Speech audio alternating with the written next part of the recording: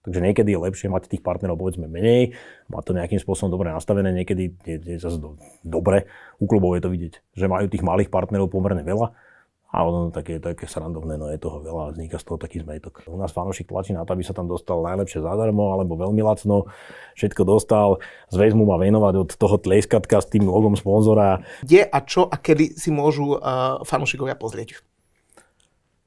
Rok 24.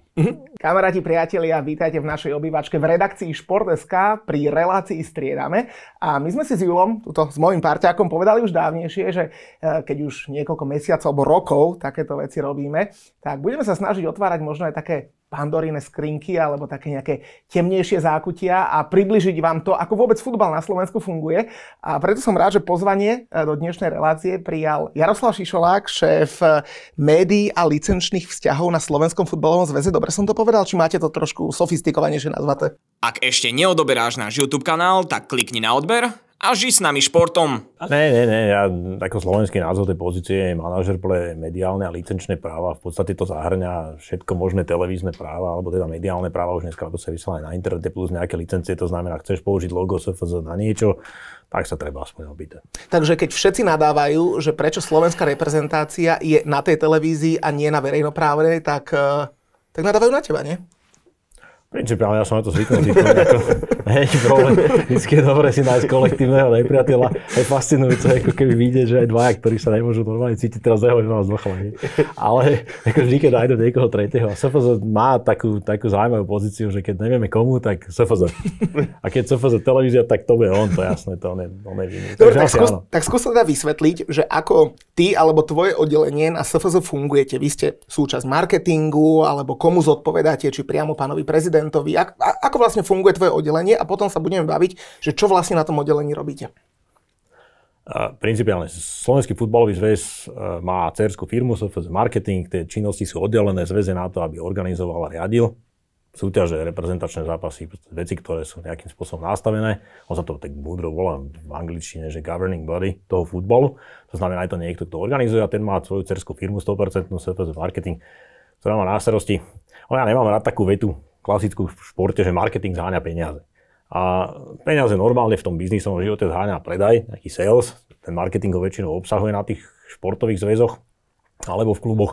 Ako my máme trošičku výhodu, že sa nám podarilo za nejakých 13 rokov, už dneska 14, a to nejakým spôsobom naštruktúrovať tak, aby to vyzeralo ako normálne marketingové oddelenie, respektíve firma.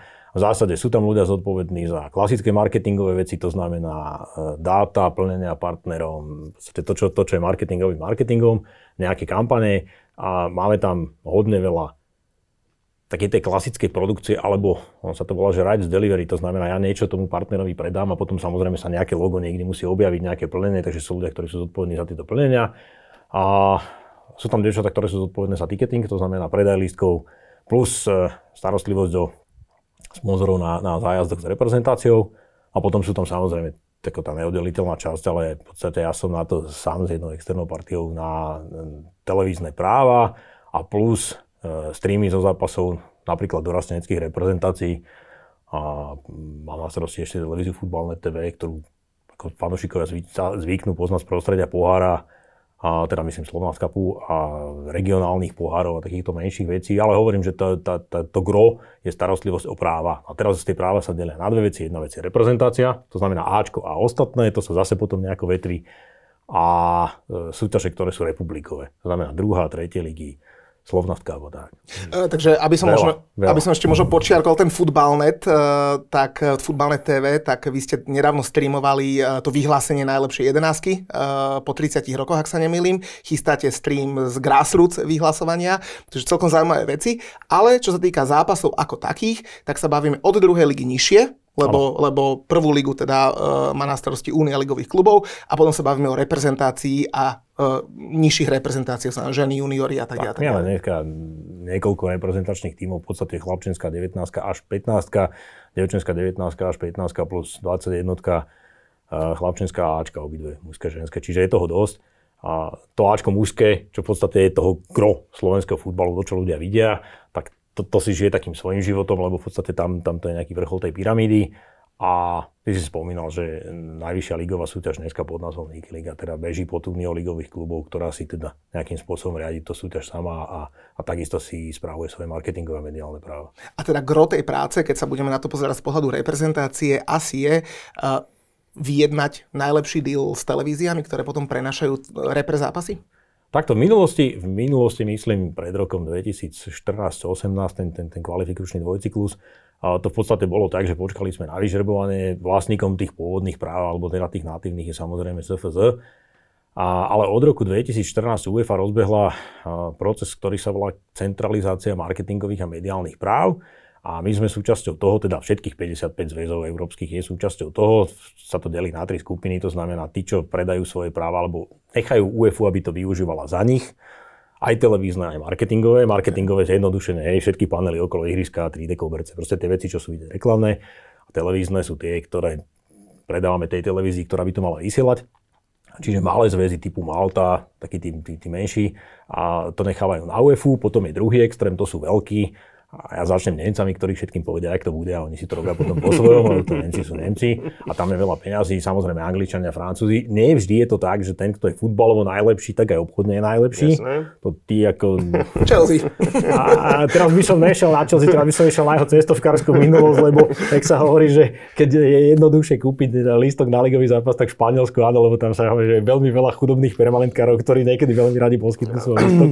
áno, áno, presne tak. A, a, a hrajú výborný futbal, ale nie sú najbohatší. Samozrejme, niekde inde je to tak, že tí, čo sú bohatí, no tak tam, tam to proste nejde. A potom je niekoľko zväzov, ktorí sú tzv. 50 na 50 režime, my sme jeden z nich.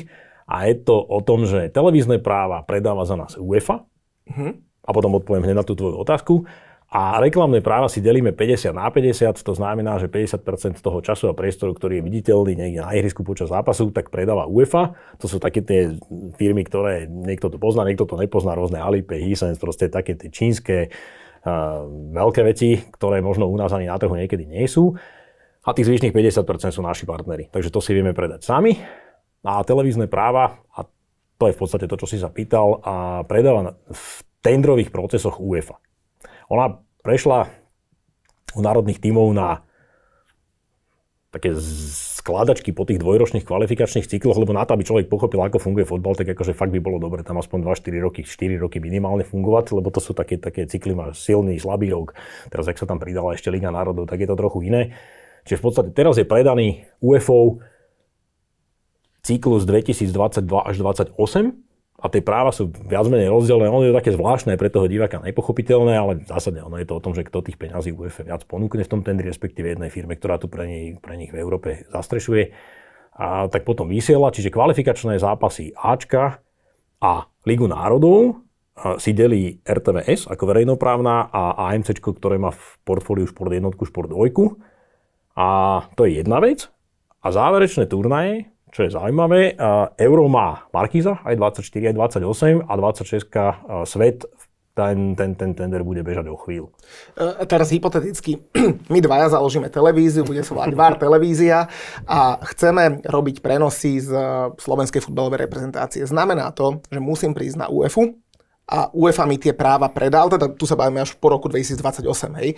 Takže, takže uh, samozrejme musím dať najlepšiu ponuku a tak ďalej. Vy ako SFZ, respektíve SFZ Marketing, v tomto prípade s tým nemáte nič, ale keby som chcel mať reklamu na štadióne, tak už idem za vami. V zásade áno. Čo sa týka toho televízneho, toho prvého bloku, a ono je to Takže my vieme ako keby nejakým spôsobom UEFA, ale ona po tých rokoch už tie svoje skúsenosti má, povedať, že dobre, tak táto televízia má takéto pokrytie, takéto výhody, také výhody, táto televízia má zase iné výhody, ja nehovorím o nevýhodách, hovorím o tom, že čo to znamená na tomto trhu. A ono totiž to dlhé roky dozadu sa stala v prostredí hokeja jedna vec, že jedna z komerčných televízií tá kúpila práva na majstrovstva sveta a nevedela zagarantovať vzhľadom na to, že mala len jeden vysielací kanál. On tá doba sa zmenila, hej, dneska niekto má 2, 3, 5 kanálov. Na veľa. internete a podobne. No, tak nevedela zagarantovať, že odvysiela všetky zápasy. A IHF s tým mala trošku taký problém, pretože boli tam sponzori veľkí, ktorí samozrejme chceli nejakú expozíciu na tom trhu, no a keď odvysielate polovicu z tých zápasov, tak je s tým problém. Čiže takéto niečo sa deje aj u nás, e, potom sa to nejakým spôsobom vyvinulo. My chceme, aby každý ten zápas bol v dobrom čase, na nejakej normálnej televízii, ktorá je dostupná. A ja mám takisto nejakú osobnú skúsenosť, keď sme v roku 2010 s partiou zakladali Digisport, tak e, mali sme tie práva, žiaľ v tom čase ešte to pokrytie bolo také, aké bolo, dneska už je to iné, ako sa, ten, ten trh sa úplne ináč vyvinul. A vtedy samozrejme zase my sme sa stali nejakým alebo terčom nejaké nenávisí diváckej, ten divák nevie. On to nemá odkiaľ vedieť, ani to nikto od neho nechce, aby nejakým spôsobom to hľadal. Aj keď kuriózne je, že vo väčšine prípadov sa potom tá kritika zvrhne asi takým štýlom, že niekto, koho má známeho a ten má ďalšieho známeho a ten má nejakého známeho, tak zistí, že on tú stanicu nemá. Tak začne teraz nadávať, potom niekto vynáza niekomu na zväze, na RTV, proste, ty to musíš a musíš. No. A musieť musíš, ja nehovorím, že my uprednostňujeme nejakú televíziu pred nejakou inou, ale tých peňazí tak treba veľa, UEFA má nejaké očakávania a v podstate to necháva na ten druhý proces. A keď tie práva chceš získať po 28. Tak si pripravila peniazy. Tak, zlaté zuby po babke treba založiť. Ako tých peniazí treba, treba hodne. A treba samozrejme potom splniť ešte niektoré ďalšie veci, lebo tam sú povinnosti výrobné. Ono to nie je totiž to o vysielaní, ale ten, kto tie práva kúpi, tak on potom tie zápasy musí aj vyrobiť. A tam príde taká buchla, taký manuál a jednu buchlu má zväz a druhú má televízia a treba sa tým správovať, lebo ten divák, ktorý sedí doma v obývačke, tak ono je dobre, keď ho neurážame nejakými smiešnými vecami, ale nech to teda nejakým spôsobom vyzerá. Sú tam nejaké minimálne kritéria, 14-16 kamier, to je proste nejaký holý základ, ktorý tam je. Ligové zápasy pre porovnanie pre tých, ktorí teda tak, nemajú tú informáciu, tak keď sa robia na 8 je dobre. A to je to, že túto Chelsea fan vie, že keď sa anglická liga robí na zhruba 32 a viac kamier, no tak tých obrázkov je o mnoho viac, tých emócií je viac, vieme obetovať kameru len na trénera, ktorá tam chodí s nejakým tým jedným, druhým, to je úplne jedno, ktorý je to tréner. A máme to.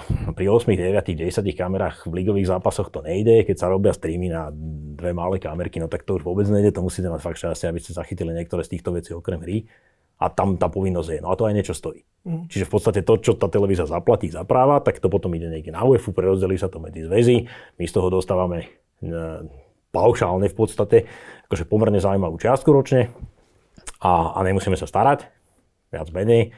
A tá televízia si k tomu musí potom pripočítať ešte taký celkom zaujímavý balík na to, aby to vyrobila tak, ako treba. Zase na druhej strane ten signál ide do sveta, takže ono to aj potom ukazuje na to, aká tá televízia je a či dokáže vyrobiť ten signál podľa parametrov, aby aj niekde vonku teda sa na to dalo pozerať. Čiže není to len o peniazoch. Vo finále je to asi najdôležitejší bod, typujme, hej, ale dojsť s balíkom peniazy nestačí, keď nedokážeš aj ukázať to, že máš na to, aby si aby to dopadlo proste dobre. A 100% pravda. Ako peniaze si môžeš si kúpiť, ne, potom samozrejme potrebuješ pár ľudí si kúpiť zase na svoju stranu, ktorí vedia tie, tie, tie buchle, tie manuály prečítať a vedia sa k tomu postaviť a vedia to urobiť tak, ako treba. Ako vždy UEFA má svojich ľudí na štadióne, na každom jednom pri našich domácich zápasoch, ktorí sú za to zodpovední. Oni sú pomerne prísni, občas sa ľudia z našich televízií trošičku tak čudujú, že prečo je to až také tvrdé. No je, no ten manuál je taký, že on by mal byť rovnaký, lebo ako náhle prídu výnimky, no tak sa to začne uhýbať a nedopadne to dobre ale pokiaľ sa to urobí tak, ako treba, tak, tak to vyzerá dobre a ten človek doma, ktorý si ten zápas pozrie a nie je na štadióne, tak akože mal by byť spokojný.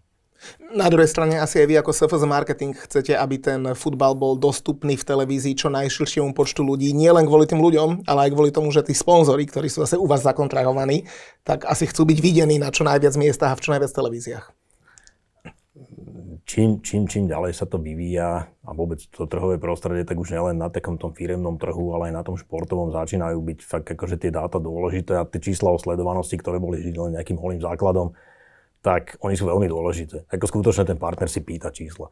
Marketingoví manažery to vyhodnocujú a teraz zvážujú, že či sa im oplatí alebo neoplatí cez ten šport komunikovať, lebo to nie je o tom, že podporím tam peniaze. To, ako dá sa to nie, na tých menších kluboch alebo na dedinách, ale v zásade na tej zväzovej úrovni je to také, že tá firma to musí mať nejakej komunikačnej stratégii, musí sa tam niekde nájsť, musí ten futbal byť pre ňu zaujímavý a samozrejme chce vedieť, koľko ľudí sa na to pozerá. A ono sa to potom sčítava. Jedna vec sú priame prenosy a potom sú strašne dôležité veci a okolo tlačoviek, okolo výstupov z mixzone, rôzne mimo ihriskové, ako off-pitch sa to volá, aktivity a tam nastupujú potom sociálne siete, kde ste vy dva akože trošič celkom ďaleko už.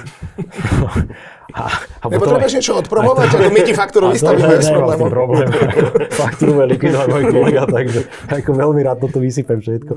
A, a bude to fajn. To si na budúce už nebudeme mať tento pohár, ale koho máte za, zakontrahovaného na drinky? Áno, áno, áno. To, to, toto je veľmi dobrá prípomienka, ako dneska sú tu poháre bez log, ale keď si pozriete skutočne tlačové konferencie, alebo vôbec niektoré tie výstupy, kde sú nejaké stoliky, tak vždy tam je nejaká káva, vždy tam je nejaká voda. A to všetko sú nejaké ako keby marketingové práva, ktoré niekto niekomu predal, alebo sa s niekým dohodol. Čiže tí partnery dôležití sú jasné. Ja potom dojde Ronaldo a zoberie ti kolu a máš, a máš reklamu, jak, a máš reklamu jak lusk. Je to tak. Na druhej strane, ako veľmi zaujímavá vec je, je úloha toho, toho samotného partnera, lebo kedy si to bývalo tak, a keď hovorí okolo alebo o Pepsi, tá, tá je pri Lige majstrov, a tak e, UEFA dneska vyhodnocuje ten podiel marketingových a mediálnych práv pri Champions League a pri zápasoch národných tímov. Asi 85% z tých príjmov je z televíznych práv. Len 15% tvoria sponzory. A tá úloha toho sponzora nie je len o tom, aby tam tie peniaze nasypal, lebo on si potom kúpi nejakú reklamu ešte v nejakej telke, ktorá to vysiela, ale ona je o tom, že ten sponzor by mal tie práva, on sa to volá, že aktivovať tie práva, mal by urobiť niečo na svojej strane. V praxi to znamená, že na tej modrej plechovici je nejaká hviezdičková vec Liga majstrov a teraz je tam nejaká tvár nejakého hráča, ktorý tam hrá a otvoríš chladičku, bám, vypadne to na teba, otvoríš nejaké tie zemiačíky, pf, teraz na teba niečo vyleze. A to je v podstate to, čo je úloha toho sponzora. Že len dám ti prachy a teraz budem mať dve loga na stene a uh, to bolo v 92. fajn, ale dneska to o tom není.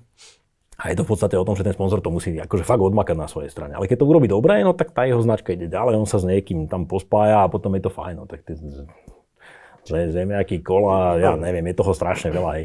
Sú tam na to, aby to rozťahali v podstate ako keby do každej obývačky. Ke, keď hovoríš o tom, že čo robia tí sponzory, ako sa to snažia využiť, uh, sú tlaky aj od sponzorov smerom na vás. A teraz zájdem do úplne takých extrémnych prípadov typu zaplatím si reklamu na štadióne a sponzor si vyhodnotí, že poviem príklad, 10% času je kamera na rohovej zástavke a tým pánom chce za rohovou zástavkou uh, neviem, umiestnený svoj produkt, napríklad auto, príklad. A, a povie si, že dávam toľko peňazí, keď môj produkt bude videný neviem, toľko minút z daného zápasu. Takto. A tí sponzory, ktorí sú veľkí a sú v tom dlho a sú znali a sofistikovaní, tak to vedia. Mm-hmm tie, veci sú všetky odberané. Ako skutočne tam sa dá vyrátať priemerná vizibilita, preto napríklad po, po, po zmene takých tých pevných panelov, kde každá pozícia sa nemení za, za ledky, 250 metrov ledek, proste kol dokola, svieti to, blíka, to sú tam nejaké minuty, tak dá sa priemerne vypočítať, kedy ho bude vidieť. A potom sú tie ďalšie aktivity, u hokeja je to napríklad zaujímavé, niečo sa robí fyzicky, niečo sa dokonca robí dneska virtuálne, proste do, sa, sa namodelujú veci do tribún. A dobre, tam sú samozrejme zase iné dohody za tým, ktoré to musia umožniť. Čiže ten sponzor chce aby ho bolo vidieť. E, u, u toho futbalu je to je tých ploch možno trošičku menej, a klasického futbalu je európskeho. Ja by som ten americký je trošičku iný. U hokeja je to vidieť, ak sa využívajú fakt tie priestory na prilbách, sa niekde na, na, na, na dresoch, na rukávoch, hoci kde. A je to o tom, že keď ťa to pustí, tak áno, chcem, aby ma bolo vidieť. To je, to je jedna z vecí.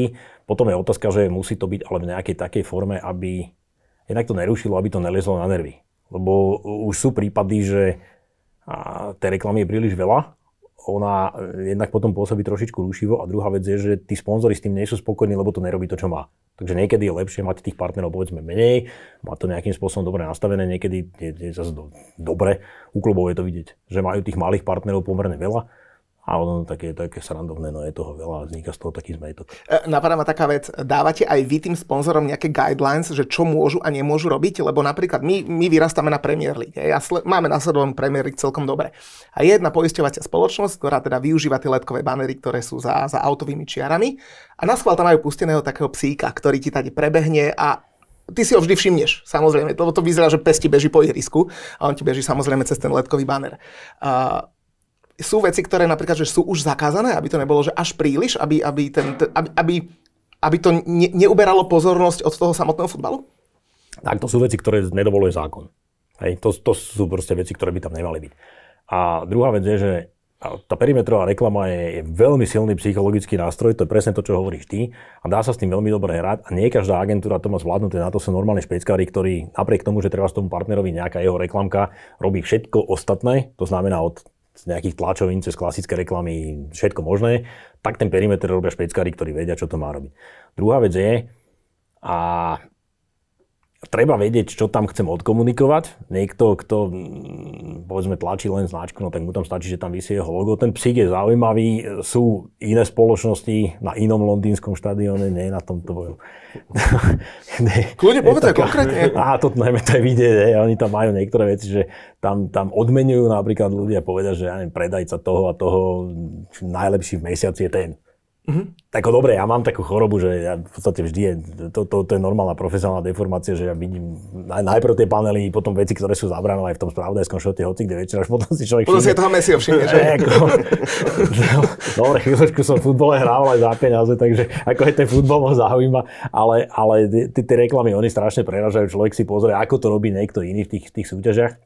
Teraz je veľmi zaujímavé, ako skutočne tie virtuálne formy, že uh, keď si pozrete, ja neviem, pri spomalenom zábere a opakovanom tam nie je na tej ploche vidieť nič a z pohľadu tej hlavnej kamery je tam plno všelijakých kobercov okolo položených, no tak to sa doráva potom niekde expo s počítačmi, dneska už je to možné.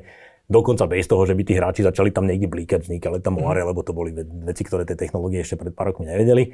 A hovorím, že ten, tento obsah, keď to niekto vie, tak, tak je to fajn. My máme napríklad uh, u nášho projektu Dajme spolu gól, máme, máme jeden, jeden spot v podstate na perimeter urobený, takže máme tam takého toho maskota, ten gólík, v podstate veľmi pekný detský projekt a, a ten tam chodí a gúla sa tam rotuje, tie detská, keď sú na tých štadionoch, tak oni občas to hlavou otočia. Potom je jedna, jedna z vecí, a, že nemalo by to sa blikať stále a veľmi, sú firmy, ktoré využívajú také tie moderné, dynamické veci a ono keď to začne veľmi blíkať, tak to potom trošičku rúši. Tí hráči to zase akože úplne nevnímajú, keď sa človek postaví ako keby dolu na úroveň toho ihriska, tak e, to vníma trochu ináč, mm-hmm. ako je to vidieť. Z tej, z tej kamery je to viac viditeľnejšie. Ale skutočne, keď to strašne veľa blíka, má to strobové efekty, tak to nie je úplne dobré. OK, poďme, či chceš sa niečo spýtať? Ja som sa toto len pochváliť, že, že oni ten predsa len, že však môžeme ho pochváliť, dajme kredit, kde je, ale nový štadión Tottenhamu a všetky tieto veci okolo toho sú, že na úplne, úplne inde. To, naozaj, že aj ja, ktorý tam som a pozerám hlavne ten futbal, tak proste tak ten rozdiel... posledný, ne? Čo, že posledná, ale... ktorá nemá ten štádion a čaká na veľkú šancu, že príde s niečím veľmi veľkým. My máme na štádion veľmi radi a sme s ním veľmi šťastní a spokojní, hej, ale proste na tom Tottenhamskom štádione proste, však je nový, je krásny, najnovší v lige, ale proste naozaj, že tam sedíš a tie proste všetko to okolo toho je tak urobené, plus samozrejme ťažia z toho, že to majú urobené vlastne pre NFL-ku, tam majú zazmluvnený, tuším, neviem presne ešte na koľko rokov istý počet NFL zápasov a proste pre nich to musí byť ešte na ešte level, ešte level hore ako na Premier League, takže... No, tie veľké štádiony sú arény, ktoré musia mať aj iný obsah, nielen klasický futbal. My to vnímame cez ten európsky futbal, ale oni musia z toho nejakým spôsobom vytlačiť čo najviac. To znamená koncerty, iné eventy. Ja mám takové taký zaujímavý zážitok pred majstrovstvami sveta 2006 v Nemecku. Sme boli na jednej obhľadke, to sme ešte 3 4 roka predtým boli v hre, to sme tedy vypadli v baráži.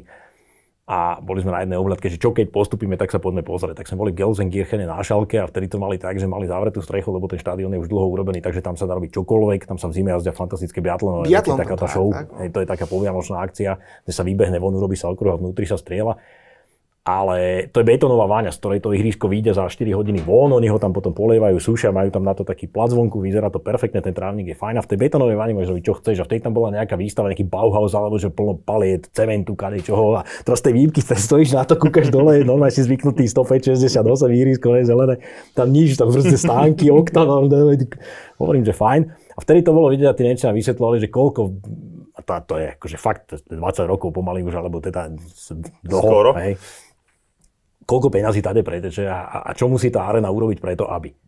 A potom je otázka, že áno, keď máš veľký štadión, no tak si tam môžeš niečo dovoliť. U nás tie štadióny sú relatívne malé, aj keď majú 18-20 tisíc, ale to je malé na koncert nejaké treba z top top hviezdy. Druhá vec je, že oni totálne zlikvidujú trávnik, pretože keď ho nemáš taký ten vysúvací, tak ti to tam zošlapuje, tam tá inštalácia s tými gumami všelijakými to ti tam pozakrýva, začne ti to plesne, musíš to vyhodiť. Takže keď máš na to prachy, aby si 4 krát za rok vyhodil trávnik, ja s tým problém. Je. Urobíš to, len musíš tie peniaze niekde vygenerovať. Ja poznám štadión, čo vymenia trávnik aj bez koncertov na Slovensku, no ale to asi není téma. Keď máš 3 čtvrte roka v tieni ten trávnik, no tak ti to nerobí to, čo je, ale hoc, no, slnko ináč nechodí, len to treba kresliť potom takže viem. Nič, poďme, poďme ale teda naspäť, naspäť k SFZ. E, my sme zistili, že keď budeme mať televíziu, tak nám chýba ešte minimálne 16 kamier a strašne veľa peňazí, aby sme, aby sme vysiali niečo, niečo z reprezentácie. Minimálne 16 kamier. Minimálne. No.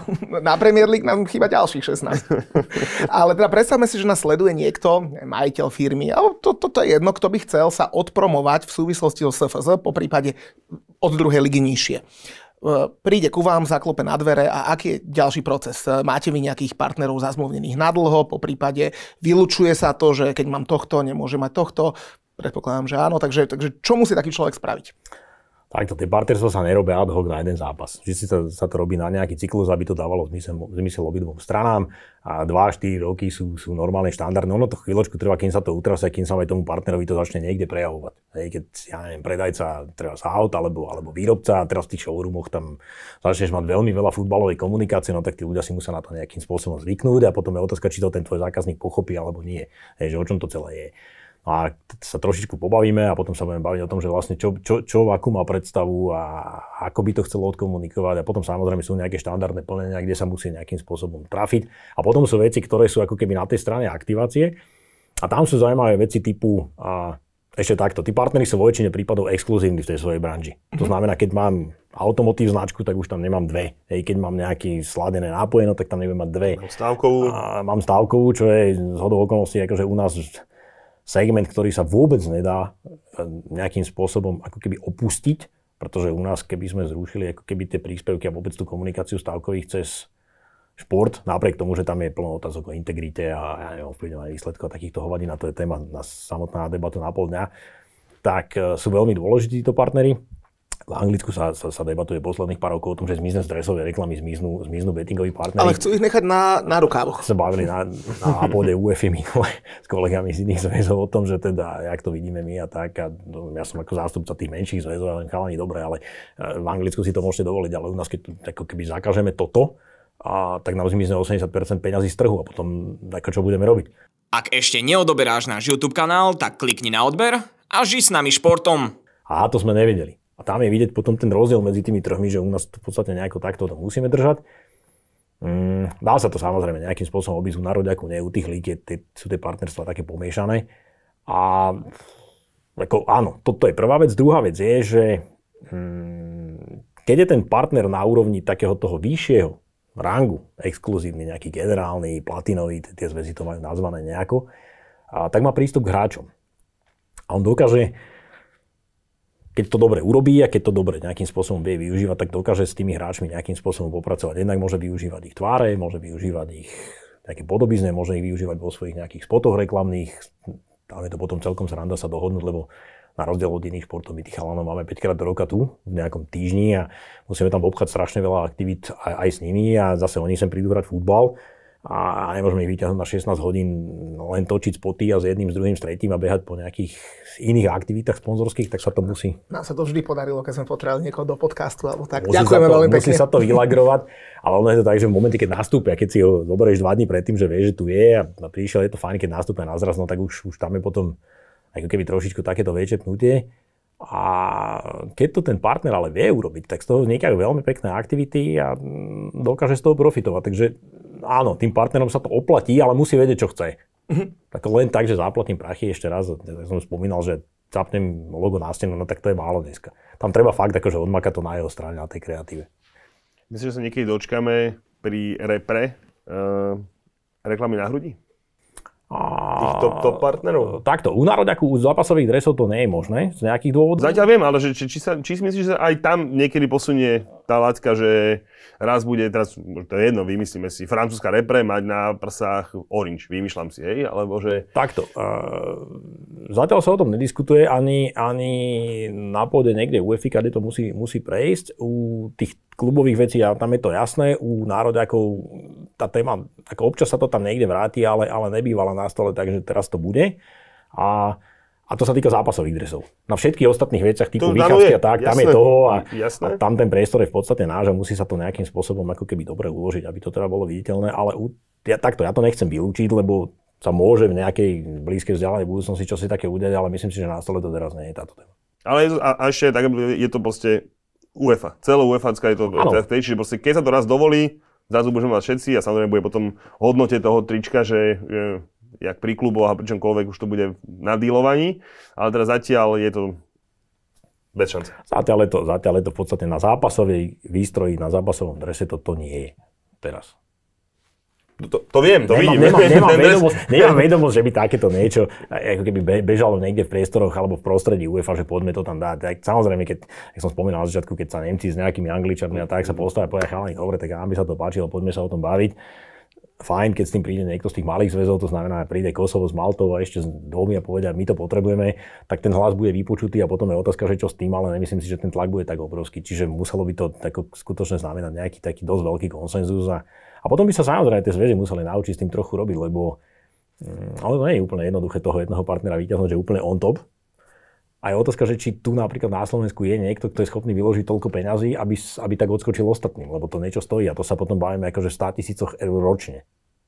Ja, už ja, Len o tom rozdieli, nejako, ja, ja, som si spomenul na, na, ak sa to tak opýtal, na Barcelonu, keď si spomeniete, tak ona vždy ešte dávno, dávno bola, že oni sú akože národný tým Katalánska a teda hrávali akože bez, bez reklamy. Až kým to neurobili, tak tuším, ak sa nemýlim, na rok alebo na dva, možno na tri, dali UNICEF. Áno, oni Ľudia si, ľudia sa to zvykli, že á, to je charita, to je milé, ale... A potom prídu aerolinky a zrazu- a, a väčšinou nie je európska, už to ide. A už to potom to išlo, a potom to išlo, ale začali takto, takto milo okusávať, no a zistili, že a vlastne však prešlo to, hej, takže to ma zaujalo, že či náhodou ani len, lebo predsa len ten, ten priestor je exkluzívny, ak si povedal pri hokeji, na helme, hej, a mať Áno. partnera, tak proste sú túto veci, ktoré, že aj ten národný dres je krásny, takto ako my sme Huťom už viackrát spomínali, že ten aktuálne, čo máme, ty máš modrý, ja mám biely, sú, sú krásne a proste bez tej reklamy to je ešte niečo navyše, ale to len tak ma zaujalo, že či náhodou sa niekedy aj tam... O, takto, tých údajov na tom drese. eh, Keď si kúpiš repliku niekde, alebo dostaneš niekde repliku, tak, tak ona obsahuje t- taký ten nejaký holý základ. To znamená, je tam nejaký štátny znak, ktorý tam musí byť. Hej, zo zákona. Potom je tam logo zväzové, ktoré tam chceme mať, pretože to je merchandisingová záležitosť a to odlišuje takýto dres od nejakého trička, túto za rohom je trhovisko, také veľké, tam ich je, ú, veľa za 4 eurá. A Slováci sú zase takí, že kúpim za 4 miesto to, aby som podporil niekde. Ináč, toto je jedna z vecí, ktoré, to sme sa strašne dávno my dvaja bavili o tom. A keď si uvedomíš, fanúšika v Anglicku nazývame supporterom. Áno. Anglické kluby a aj nároďaky na britských ostrovoch, všetky, ktoré sú tam, a je ich tam asi 5, tak eh, majú supporters klapy, supporters krčmy, supporters programy. Ten výraz sa ťažko prekladá do slovenčiny. Podporovať. Podporovateľ je niekto iný. My máme fanúšika. A v tom ja vidím, ako keby v, te, v tom jazykovom rozdieli, vidím ten veľký rozdiel uh, v prístupe toho človeka, ktorý u nás príde na štadión. U nás fanúšik tlačí na to, aby sa tam dostal najlepšie zadarmo, alebo veľmi lacno, všetko dostal, zväz mu má venovať od toho tleskatka s tým logom sponzora, všetko možné, čápica detí, zážitok na štadióne. Fajn. Na druhej strane, a začiatkom sezóny, ty ako príslušník modrého klubu, a mám niekoľko kamarátov, ktorí sú príslušníci červeného klubu, Mám, mám, mám veľmi dobrého, veľmi bývalého kolegu kamaráta, ktorý je dokonca si platí členstvo v Arsenále teda, má svoju tabulku tam normálne umiestnenú. A teraz ide o to, že ja svojich 70, 100, 200 libier ročne dávam na niečo. A toto mi vysvetlil chlapík v Anglicku, na to som neprišiel sám. To mám od niekoho veľmi blízko klubu v Newcastle, to ešte 20 rokov dozadu, keď Dubnica hrala Interpolar. A ten hovorí, vieš, ale ja si platím tých 80 libier za to, že mám šál, nový dres, to znamená, keď sa mení sponzor, tak ja musím mať nový. Ja sem neprídem sa hambiť medzi mojich kamošov na tribúnu so starým sponzorom, to sa nerobí. A chcem mať permanentku, lebo ja podporujem tých chalanov a ja sem každé dva týždne, alebo tých 10 dní plus minus streda, sobota, chcem prísť a chcem sa baviť. A ja som ten, kto to podporuje. A to je niečo, kam sme sa ešte nedostali za tie roky. Podľa by sa dostali. Ja, ja ti hovorím, že ja, ja to mám z Chelsea, hej. Ja keď nakupujem, tak proste priamo v šope. Lebo z toho priamého predaju to, tomu klubu z toho shopu ide najviac. Mohol by som si to kúpiť na webovke, aby došlo krásne oficiálne, ale A potom, potom aspoň vieš, že vďaka tebe nekúpili toho hráča za 60 miliónov a mohli za 100. Tak sú, sú. No.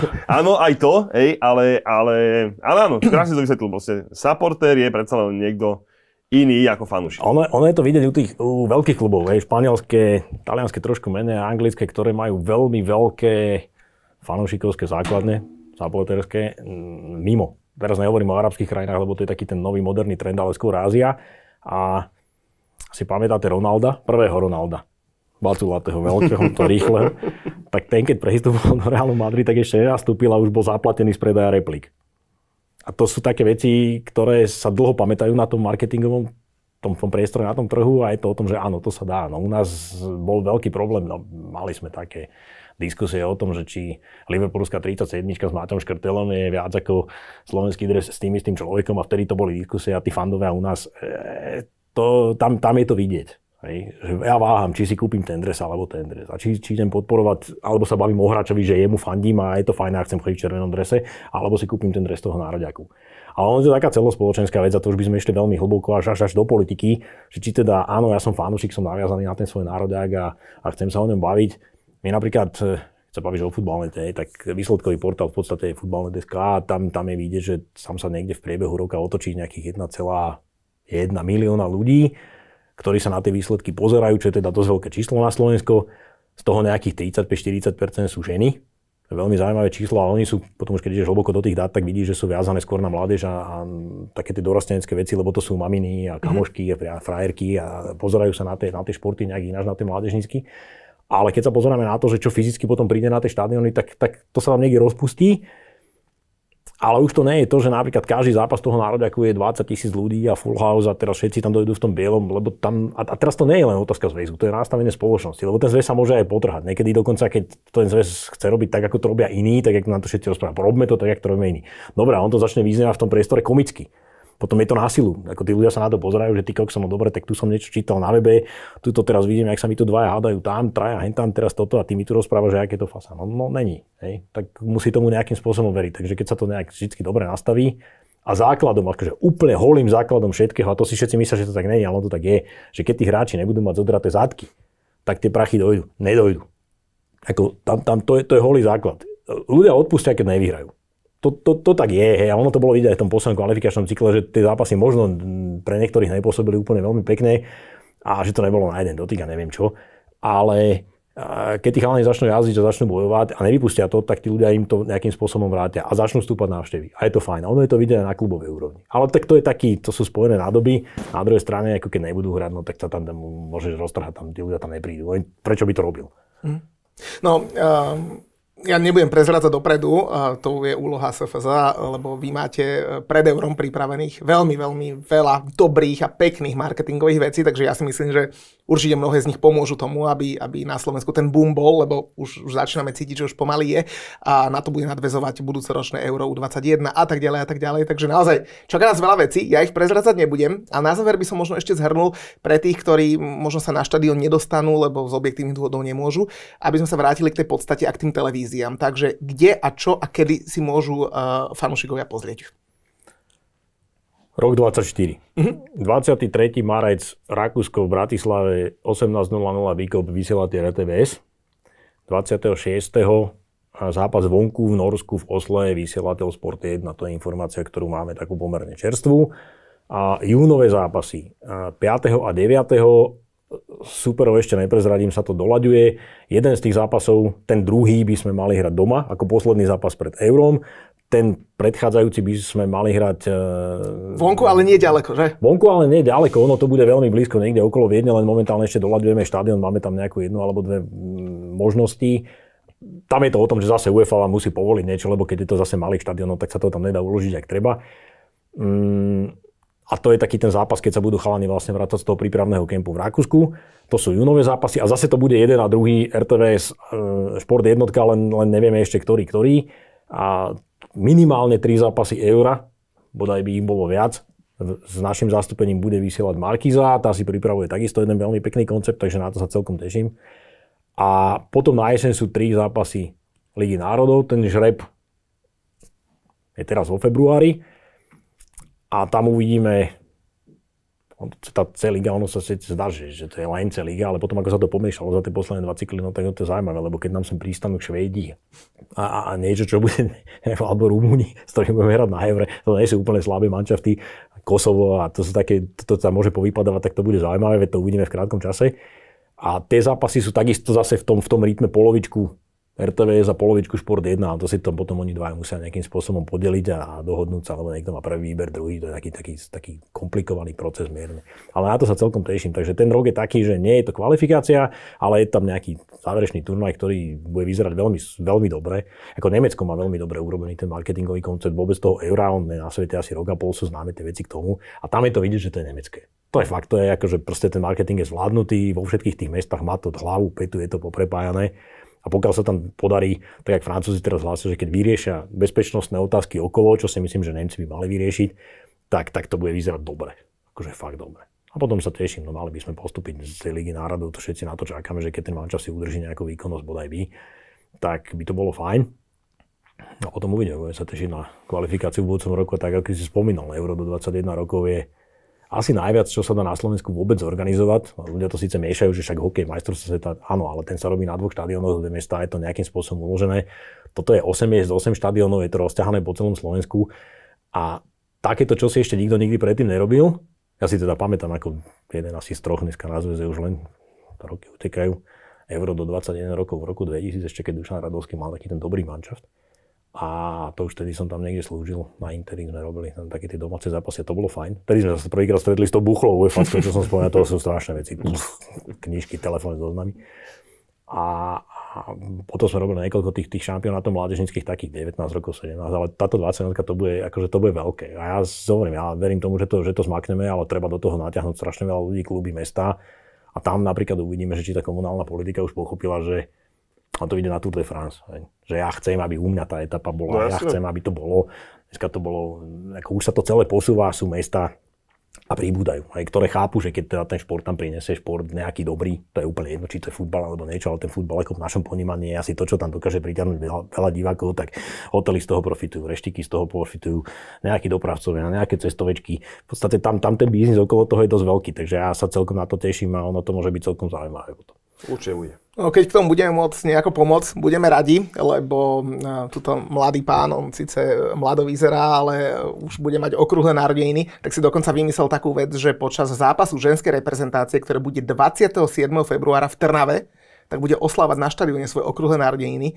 Tak sme popozývali všetkých našich 30 e, tisíc sledovateľov z Instagramu. Tak... Nepustíme ho tam v jeho modrom svetri s pingvínom, modrý šál, áno, tu má také klubové logo, tu minule, minule tu sedel v tom, tak to, to, to, to musíme mu návlesť niečo iné, ale ako veľmi rádi ho privítam. Nie, pôjdem ty, ty v Chelsea svetri? Pôjdem pre predresi, neboj sa. Oblečíš ho. Ja. No, no, no, to sa ešte uvidí. Vidíš, to musí zhodnotiť. Keby bol si problém, môžeš sa. Keď hovoríme o drese. To, to, to sú také veci, to by sme mohli nájsť. Jaj, až ma, až ma prešiel studený balón, vieš. Našťastie si ten dres ideme vidieť, takže je to v pohode, ale jaj, no. Takže kto chce doniesť Julovi koláčiky, uh, tak uh, budeme ho čakať aj, aj s našimi kamoškami z futbalovej reprezentácie v Trnave na tribúne. A mimochodom, kto ešte nemá dres, tak stále si ho môžete kúpiť. Inak ja som čumelek blázon, keď sme sa asi pred pol rokom prvýkrát na tú tému rozprávali. No, že ten dres slovenskej repre jednak je že krásny, materiál je fantastický a je tak super lacný, že ten, kto ho nemá, tak fakt robí veľkú chybu. To si na Instagram tú reklamu. Čo si hovoril? že túto reklamu si necháme na Instagram. Tá kreatíva už aj, už aj v tejto dresovej, dresovej oblasti sa, sa ako podarila celkom. A, ale zase je to o tom, že tá firma, keď to vie urobiť a chce do toho niečo vložiť, tak ako sme mali šťastie posledných nejakých 10 rokov, tak tak potom to aj vyzerá. Dá sa to predať, zase na druhej strane, ako nekupujem to preto, aby som to mal doma niekde pichnuté, tak už tom budem niekde chodiť, alebo minimálne budem machrovať, že ja mám a on nemá. Takéto anglické, u nás sa to moc nenosí zatiaľ, ale akože fakt ten človek, ktorý ten dres má a má ten neviem, že originál, ale takú tú repliku, ktorá je tá oficiálna, no tak tam je vidieť, že on ten nejaký ten vzťah má. A pre nás je takýto človek najhodnotnejší. Tak e, keď by takých bolo čo najviac, my sa budeme naozaj e, snažiť tomu pomôcť, lebo z veľa vecí si robíme srandu, ale na konci dňa všetci sme zo Slovenska, zo Slovenskom to myslíme dobre, tak, tak eh, chalani už výsledky na ihrisku dodali, my sa budeme snažiť urobiť všetko to okolo a a snáď zažijeme e, budúce roky minimálne také úspešné, ako boli tie posledné, lebo naozaj po futbalovej stránke boli že mega úspešné. A ja môžem len slúbiť, že za mňa, za svojich kolegov, že tých x desiatok ľudí urobí všetko preto, aby si tých 22 tam mohlo zabiať. Chalani sa trochu vypotia a tí ostatní sa budú podiť predtým, počas toho aj potom, keď aby to nejak dopadlo. Ale my urobíme všetko preto, aby to bolo fajn, aby sa diváci cítili dobre, aby tí, čo budú doma a nedostanú sa na štadión, tak samozrejme, aby dostali nejakú informáciu, aby mali taký ten polno plnohodnotný, takmer plnohodnotný zážitok z toho. A potom uvidíme, potom už je to len na tých hráčoch. Tak držme si palce, ďakujeme, že ste s nami boli až do konca. No a verím, že pri ďalších reláciách striedame sa znova stretneme a budeme sa baviť o takýchto zaujímavých veciach ako s Jaroslavom Šišovákom zo SFZ. Veľká vďaka, že si prišiel. Ja ďakujem za pozvanie obidvom a rád som vás videl po nejakom čase a všetkým ostatným krásny deň. A na budúce už nepijeme z týchto pohárov.